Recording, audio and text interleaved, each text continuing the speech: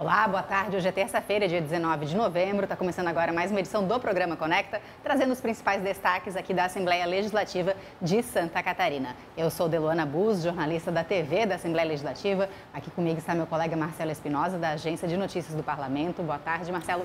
Olá, Deluana. Olá, você que nos acompanha pela TVA. Lembrando que o programa Conecta pode ser acompanhado ao vivo pelo nosso sinal aberto disponível em Florianópolis e em Blumenau. Ou ainda na opção pelo canal do YouTube. Isso, e lembrando também que o programa Conecta é transmitido pela rádio da UDESC, a Universidade do Estado de Santa Catarina, nas cidades de Florianópolis, Lages e Joinville.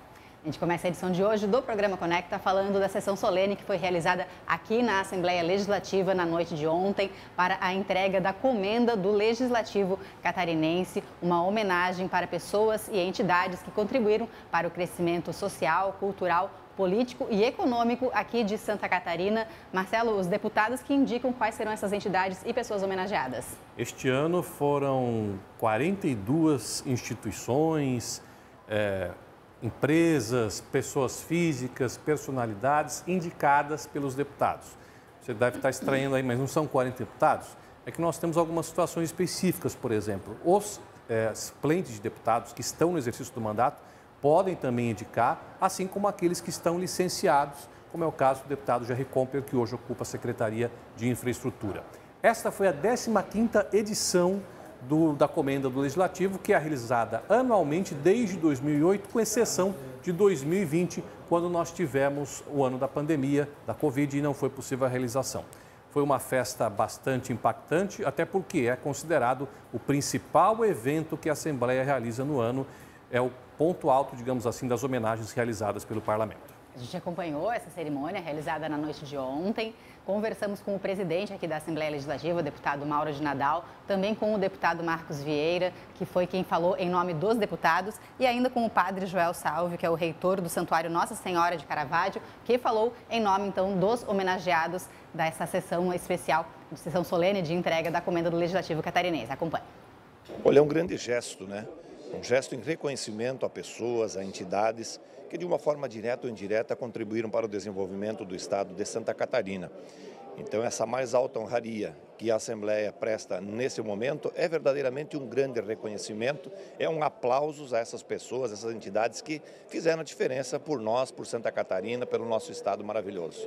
A Assembleia Legislativa, no ano que completa o seu centésimo nonagésimo aniversário e também o trigésimo quinto aniversário da Constituição do Estado, é, fazer essa sessão solene de entrega da maior comenda do Legislativo Catarinense a pessoas e entidades é porque realmente todas elas contribuíram e vão contribuir e vão continuar contribuindo muito para o desenvolvimento de Santa Catarina.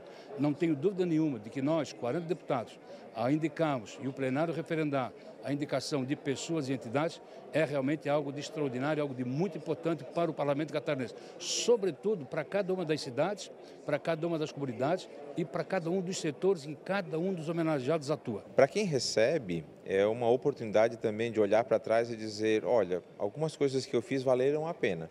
Por isso é um reconhecimento não no sentido de aplauso, mas de lembrar que as coisas que a gente faz valem a pena, pequenas ou grandes, valem a pena. Por isso acho que ser homenageado ou fazer parte desse momento desses 40 homenageados é muito bom.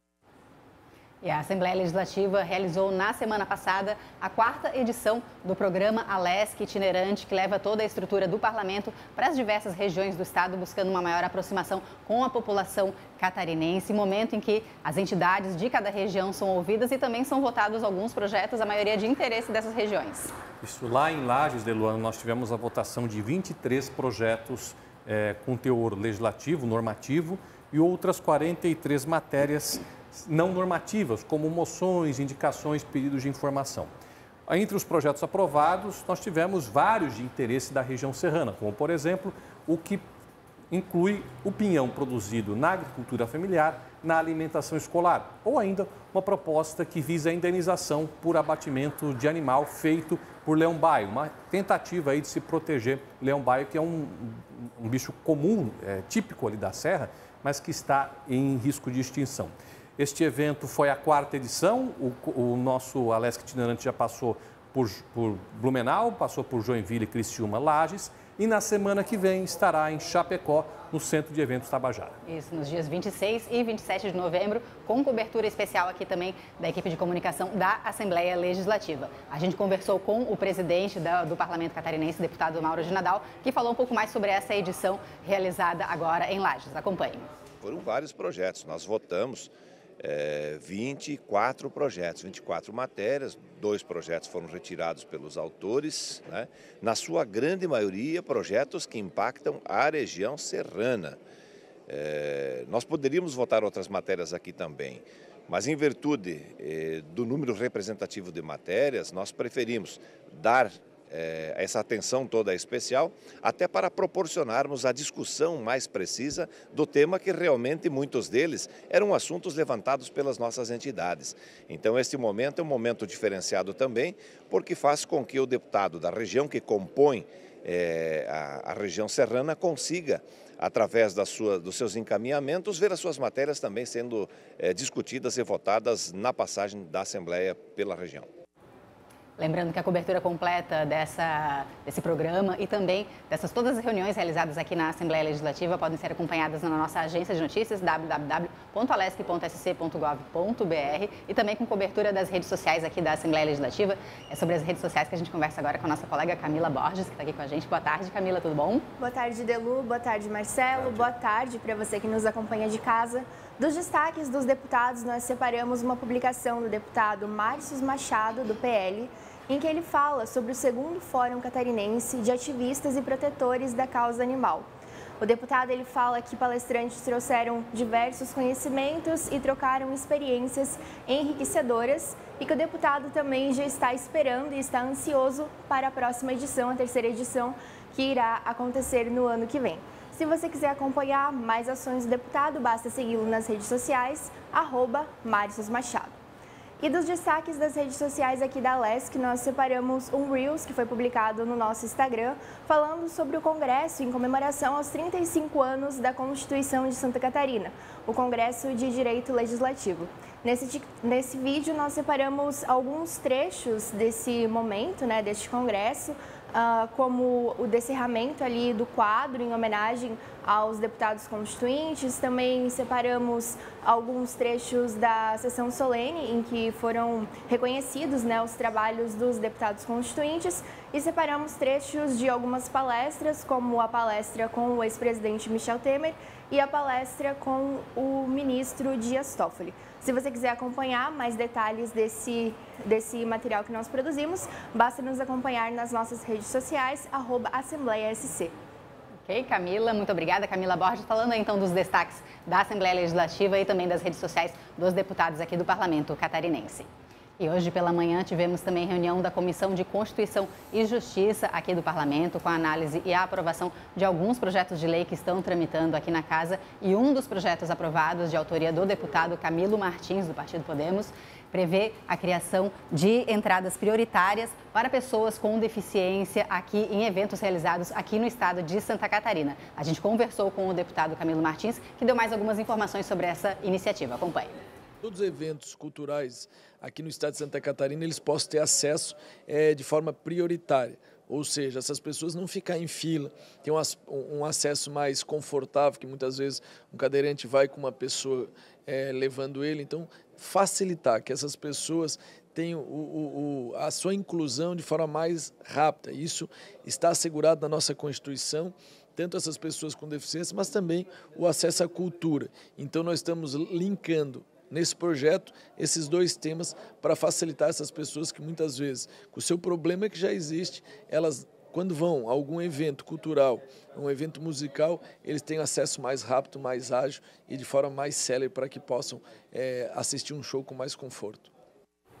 Projeto, então, que segue tramitando aqui na Assembleia Legislativa. E ainda durante essa reunião da Comissão de Constituição e Justiça, os deputados aprovaram um outro projeto de lei de autoria do deputado Marquito, que prevê a criação de uma política de saneamento ecológico rural aqui em Santa Catarina. É um dos objetivos desse projeto, Luana, é atender ao marco do saneamento que foi instituído em 2020, que prevê que até o final de 2033 deverá haver a universalização dos serviços de água, esgoto e coleta de resíduos. O deputado entende que na zona rural isso é mais complexo, porque diferentemente da área urbana, onde você consegue ter uma proximidade das unidades consumidoras e é mais fácil você fazer uma rede de coleta de esgoto e encaminhar para uma estação de tratamento, na área rural as propriedades ficam bem espaçadas umas das outras.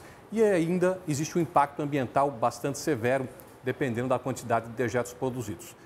Tudo isso, soluções para essa situação, estão propostas nesse projeto de lei que agora segue sua tramitação e vai para as comissões de mérito aqui da Casa. Projeto de lei de autoria do deputado Marquito, do PSOL, que teve como relator na Comissão de Constituição e Justiça o deputado Pepe Colasso, do Partido Progressista. Deputado Pepe Colasso, que conversou com a nossa reportagem e falou um pouquinho mais sobre essa iniciativa. Acompanhe. É um projeto importante de proteção ambiental, né, principalmente de proteção aos nossos rios, nascentes, é, de conscientização também da população e de exploração também de todo o saneamento básico no nosso estado, que é um estado ainda muito precário na questão de investimento em saneamento básico. São poucas as cidades né, que investem num assunto tão importante, o assunto de saúde pública. Esse projeto ele aprimora, ele né, é, cria mais envergadura para que a gente possa ter uma política pública mais eficiente. E a Comissão dos Direitos do Consumidor e do Contribuinte aqui da Assembleia Legislativa também esteve reunida na manhã dessa terça-feira e aprovou um projeto que busca flexibilizar a emissão de notas fiscais nas propriedades rurais aqui do estado de Santa Catarina. É uma alteração proposta pelo deputado Fabiano da Luz, da Luz numa lei que já trata dessa questão. O que, ele quer com essa alteração? Fazer com que hoje a nota fiscal do produtor, é, que é, é emitida apenas no nome do dono da propriedade, seja emitida também no nome de pessoas que trabalham naquela propriedade. Isso aí vai beneficiar principalmente propriedades familiares, que são maciçamente a maioria aqui em Santa Catarina, porque permitirá, por exemplo, que aquela família que trabalha na, na propriedade, além do pai que é o proprietário, a mãe, os filhos, eventuais agregados, possam ter notas emitidas nos seus nomes e isso, para fins de comprovação de renda, é um passo importante. O projeto já está pronto para votar em plenário. Marcelo falou, projeto de autoria do deputado Fabiano da Luz, do PT, Partido dos Trabalhadores. E o... Que o filho do agricultor vai comprar algum bem, vai se cadastrar num banco, vai abrir conta em banco, ele tem que comprovar a renda do pai, porque ele não tem o comprovante da renda dele. Então nós estamos sendo justos com quem trabalha na propriedade e ampliando o número de pessoas no bloco de produtor, né, para que justamente ele possa comprovar a renda que ele também gera nessa propriedade.